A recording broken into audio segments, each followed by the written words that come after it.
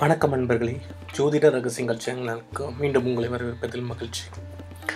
இன்னைக்கு பதிவில் வந்து பார்த்தீங்கன்னா திவ்ய மந்திரங்கள் அதோடைய பலன்கள் அது எத்தனை தடவை நம்ம ஜபிக்கணும் அப்படின்றத நம்ம இந்த பதிவில் தெரிஞ்சுக்க போகிறோம் நிறைய மந்திரங்கள் நம்ம தெரிஞ்சுக்க போகிறோம் ஸோ ஒரு ஒரு பதிவுலையும் ரெண்டு இல்லை மூன்று மந்திரங்கள் மட்டும் நம்ம பார்ப்போம்.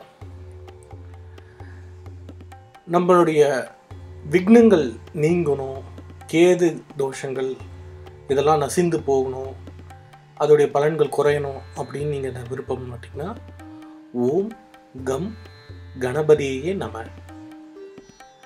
மறுபடியும் சொல்கிறேன் ஓம் கம் கணபதியே நம.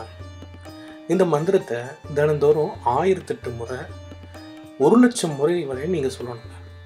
அதாவது கிட்டத்தட்ட ஒரு பத்து நாளைக்கு இந்த பத்தாயிரம் முறை வரும். ஸோ நீங்கள் ஒரு மூணு மாதத்துக்கு இந்த மந்திரங்களை நீங்கள் ஜபிச்சிங்கன்னா உங்களுக்கு ஏற்பட்ட இருக்க கேது அந்த தோஷங்கள் விக்னங்கள் எல்லாமே நீங்கி சுபிட்சமாக இருப்புங்க. இதை மறக்காமல் செய்யுங்க. அடுத்த சில பேர் வந்து கணவன் மனைவிக்கு நடுவில் அந்யோன்யம் வந்து ரொம்ப குறைஞ்சிருக்கு. ரெண்டு பேருக்கும் எப்பவுமே சண்டையாயிட்டிருக்கு.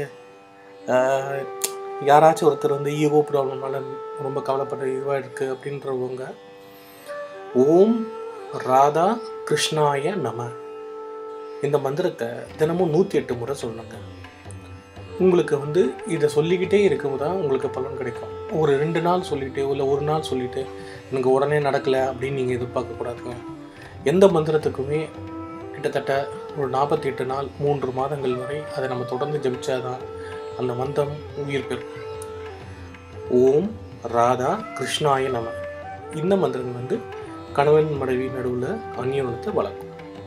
நன்றி வணக்கம். அடுத்த பதிவில் இன்னும் சில மந்திரங்களோட நான் உங்களை சந்திக்கிறேன். டாக்டர் சிங்கு சேனலில் சப்ஸ்கிரைப் பண்ணுங்கள்